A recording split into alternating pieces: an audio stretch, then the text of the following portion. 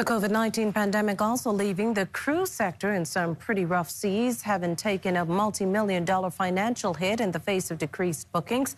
When asked whether cruise lines are ready to make a return, here's what Tourism Minister, the Honourable Dionisio D'Aguilar, had to say in that regard. It, it's once again a very fluid situation. We're waiting for um, them to um, uh, decide um, and conclude their negotiations with the, the health officials in the United States to see whether they can safely open their business again. And I think that's very much a work in progress. As of yet, not quite settled.